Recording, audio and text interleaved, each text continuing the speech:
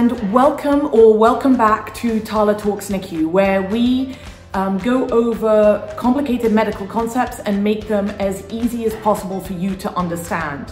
Hopefully, this will mean that you will retain the information forever, and as many of you have already told us, hopefully it makes you enjoy your time in the NICU more. So today we are going over part three of necrotizing enterocolitis. In the first and second videos, we went over the pathophysiology of NEC, or what causes NEC, um, as well as the prevention of NEC. And in video number two, we went over the diagnosis of NEC. In this video, we are going to go over the management and treatment of NEC. And then in the final video, we'll go over the outcomes after an infant had NEC. Let's start with the management of NEC. When NEC was first described in the 1970s, the authors of that seminal study quite brilliantly described how to treat NEC. And honestly, it's pretty much exactly what we still do today, which is a combination of gut rest and supportive care. Which, if you think about it, is pretty much how we treat every neonate that's really sick in the NICU. Whether it's from sepsis or really bad PDA or HIE, we do gut rest and supportive care. It's interesting that nearly 50 years later, we still don't have a targeted treatment towards NEC, whether it's an anti-protein that we can give or a medicine targeted against hormones or something. And a lot of that is because we don't really know exactly what prevents NEC, what and exactly what causes NEC. So eventually, hopefully with all the research being done, we will have more targeted medications towards NEC. So, in the words of Dr. Santulli et al., who published that paper in 1976, this is what we do to treat NEC. So the first thing is nasogastric decompression. So as soon as we're worried about a baby having NEC, we stop feeds or we make them NPO, nothing per os, and we insert a tube either from normally from the mouth to the stomach or sometimes from the nose into the stomach and then we suction on that tube. So what we're trying to do is to pull out all the juices and the secretions and the acidity and everything from the stomach or anything coming up even further down from that, from the bile or whatever, so that the gut can rest as much as possible. So gastric decompression with a suction tubing, basically. The second thing is IV fluid administration. Obviously, when these babies are made NPO, you need a way to support them from a fluid and a nutrition standpoint. So ideally, you want a PICC line. Go watch that video on the peripherally placed central catheters. So um, most of these babies are over a week or 10 days old. Again, go back and watch the other couple of videos. And so they're really past the window of getting the umbilical catheters placed. So in the vast majority of babies with NEC, we end up placing a PICC line. If we are unable to get a PICC line, then sometimes a central line needs to be placed surgically or something that we call a Broviac. This is obviously more invasive, but we do need a very solid concrete way to be able to give babies IV fluids as well as medications. And as you all know, when we're not feeding a baby, we want to give the best possible nutrition that we can. And that is normally TPN or total parenteral nutrition. The third thing is, is we have to pay close attention to the acid-base balance. So yes, we are getting frequent labs um, as well as frequent gases to make sure that everything is as balanced as it can be and we can make changes very rapidly as the NEC progresses. The fourth thing is broad spectrum antibiotics parenterally, which means in the IV. So this is always a question in the units and it's a topic of a lot of debate, which antibiotics to give. Many units will give ampicillin and gentamicin and if the baby already had an IV line, then maybe they would do nafcillin or vancomycin instead of ampicillin because you are wanting at that point to cover for a Staph aureus, which um, generally Staph aureus is resistant to ampicillin. Remember, if you are on vancomycin and gentamicin for NEC, you better be following those levels very carefully because they are both renally excreted and with worsening renal function in NEC, it's very easy for those levels to get to toxic values. So if you are on Vanc and Gent or either of them, make sure that you're following those levels carefully in NEC. Then there's always the conversation about adding anaerobic coverage. And the reason for that is that a lot of the bacteria in the gut are anaerobes. So pretty consistently, if a baby does have a perforation or it is a surgical NEC, then generally we will add anaerobic coverage. There isn't really a lot of evidence either way, but this could mean adding a drug like clindamycin or metronidazole, which is flagyl, to the antibiotics that you're already on, since they both cover anaerobes. Or it could be just switching all of your antibiotics to something kind of more broad spectrum, like a meropenem or a zosyn, which is piperacillin and tazobactam, which both have like a coverage of gram positives, gram negatives, and anaerobes. Then the question is, how long should we treat babies with antibiotics? If the blood culture is positive, which is about in 20% of the time, then generally that will guide the length of treatment. Some people use normalization of the CRP uh, to guide the treatment for how long the baby should be on antibiotics. But if you think about it, then a lot of times a baby could be very well, ready to eat, x-rays look completely normal, but the CRP may still be a little bit elevated. We used to treat NEC for longer periods, really up to 14 days. Now, most people will treat NEC for somewhere between 7 to 10 days, depending on the clinical status. A recent study published showed that the outcomes of NEC didn't really change depending on which antibiotics were used.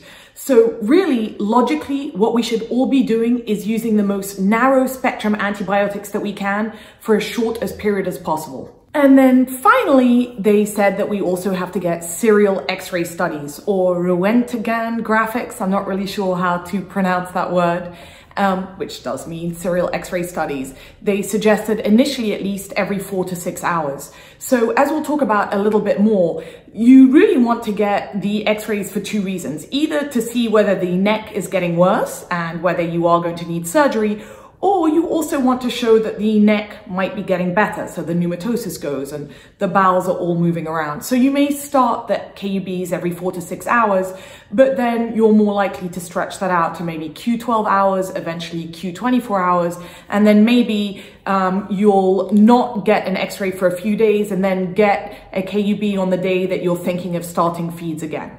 So yes, serial KUBs. So that brings us to our first question, which is when does an infant need surgery for NEC? So the first really obvious answer is when there is a pneumoperitoneum. So when you see free air in the gut. That by definition means that the gut got so sick in an area that it actually died and got a little hole in it. So it allowed, or perforation, so it allowed air from inside the intestine to get out into the peritoneal cavity. So by definition, if we see air in the peritoneal cavity, it means that there is a perforation somewhere in the intestine and generally that needs to be fixed surgically.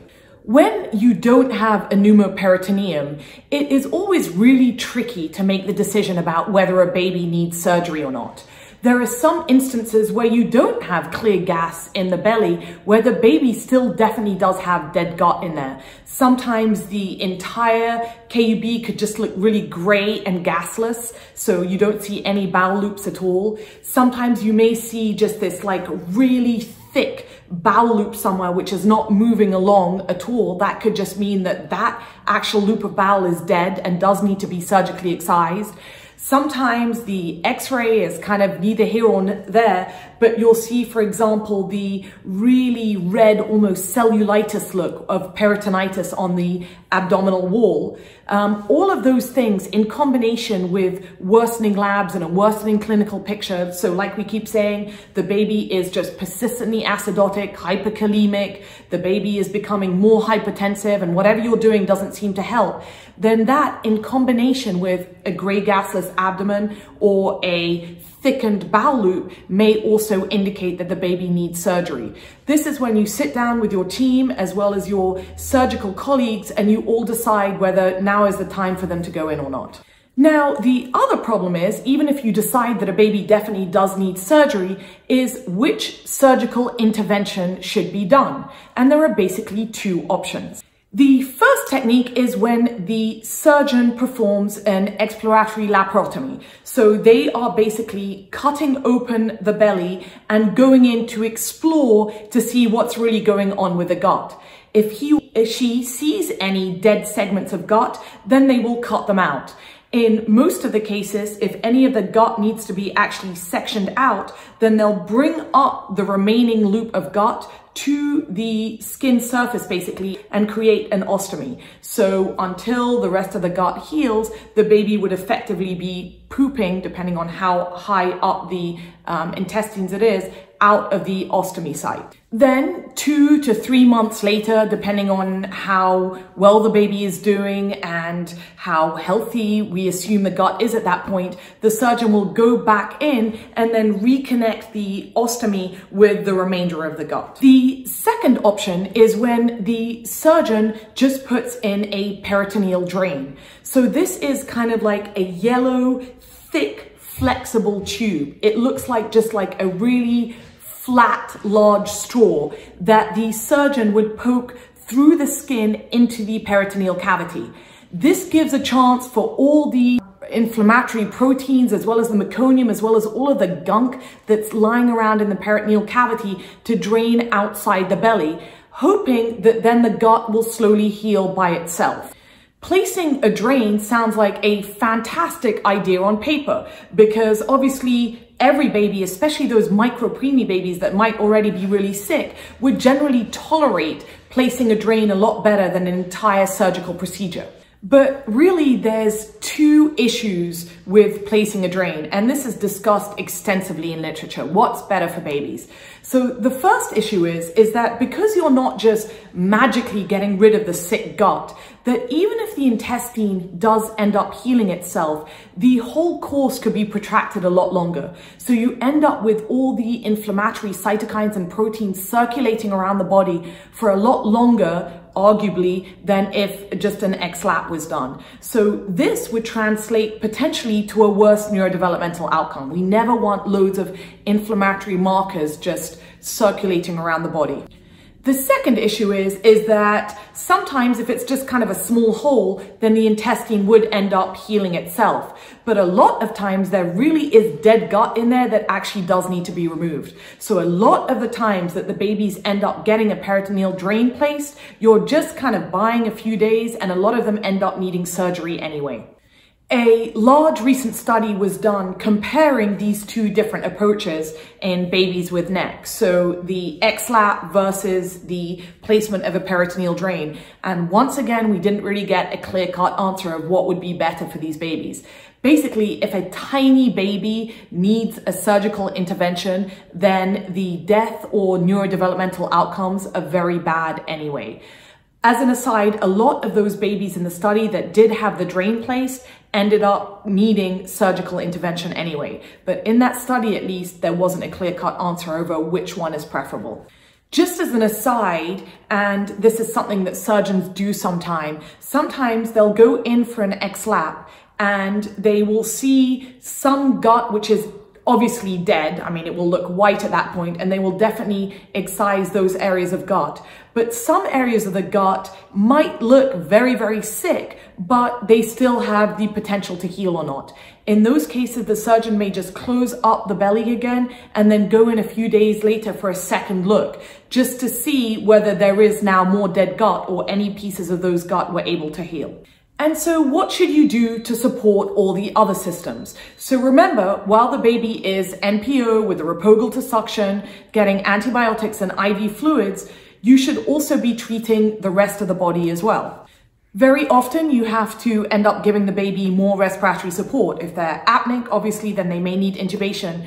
Even if they're just on CPAP at baseline, you may not want all that extra air blowing directly into their belly. So you may want to intubate them for that anyway.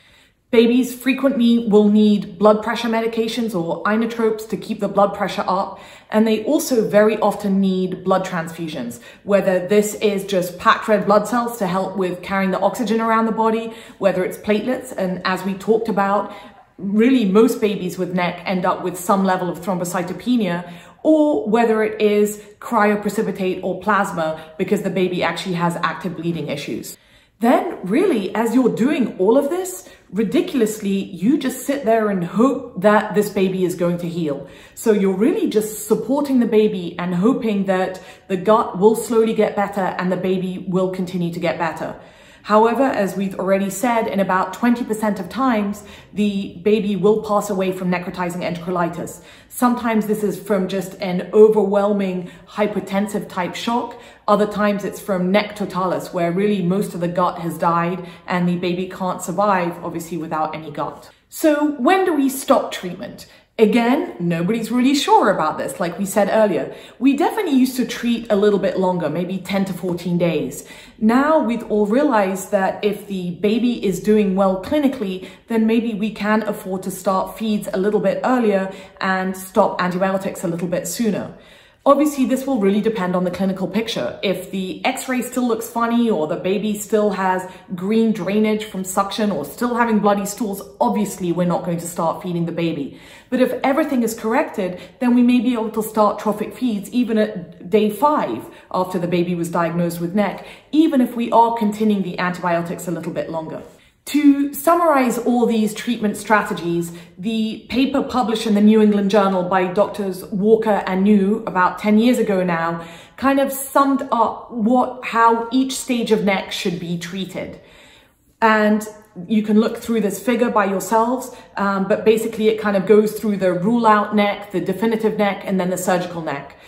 This paper, like we said, was published 10 years ago. Probably the thing that's changed the most in the last 10 years is that we don't always necessarily treat as long. So it might not be the full 10 days. It might not even be the full seven days. The other thing that we're all kind of still divided on is whether we really should ever be placing a peritoneal drain or not. Well, that was it. I hope that you learned something today on the treatment of NEC. I would be, or we all would be absolutely fascinated to know what you do in your NICU. So if you've reached this far, I would really love to know which antibiotics you use and how long you treat for, and whether you are using peritoneal drains or um, laparotomies in your unit. Um, in the meantime, please remember to like and subscribe and let us know below what you would like us to talk about next. Thank you.